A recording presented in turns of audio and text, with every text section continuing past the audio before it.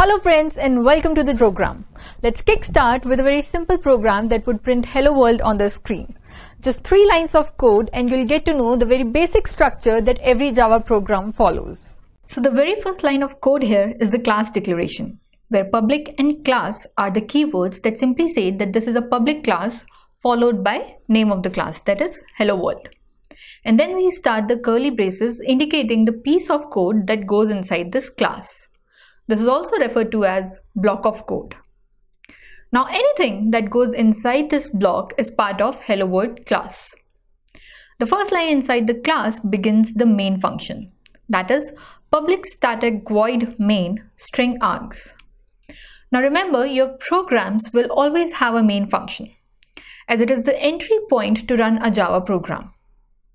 Static and void are also keywords here, which we'll discuss about in depth in the solve problem section when we write this code in Eclipse. So don't worry about these as of now.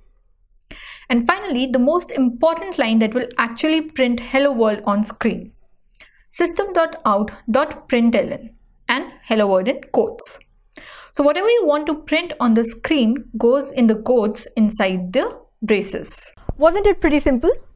Let's discuss code formatting in the next video before we jump on to the next concepts of Java, as code formatting is a very important part of programming that many programmers tend to ignore.